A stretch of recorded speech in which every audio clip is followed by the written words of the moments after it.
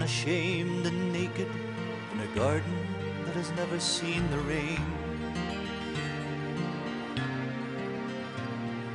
Rulers of a kingdom full of joy, never marred by any pain. The morning all around them seems to celebrate the life they've just begun. In the majesty of innocence, the king and queen come walking in the sun.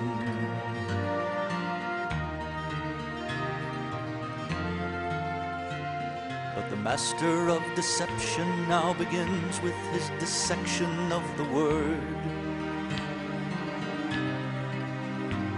And with all his craft and subtlety, the serpent twists the simple truth they've heard.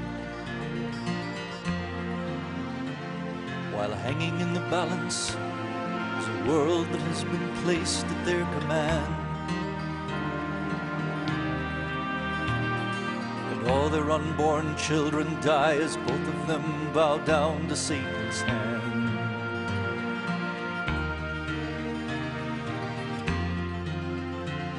Then just before the evening, in the cool of the day, they hear the voice of God as He is walking. But they can't abide His presence now, so they try to hide away. But still they hear the sound as He is calling. Adam, Adam,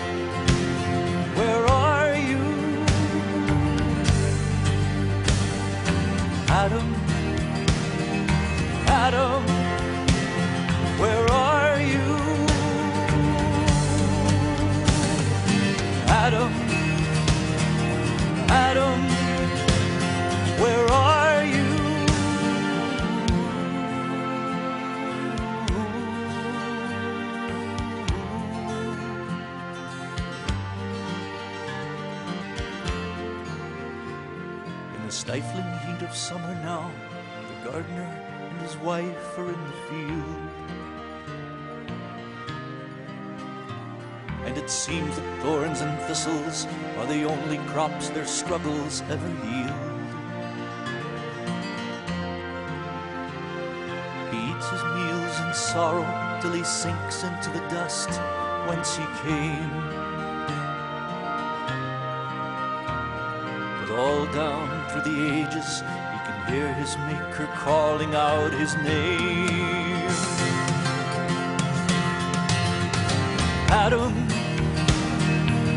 Adam, where are you?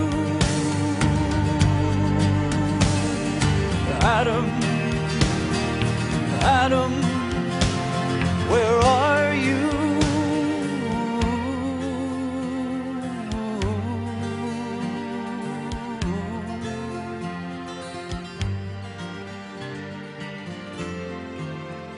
though the curse has long been broken, Adam's sons are still the prisoners of their fears. Rushing helter skelter to destruction with their fingers in their ears. While the Father's voice is calling with an urgency I've never heard before. Won't you come in from the darkness now before it's time to finally close the door?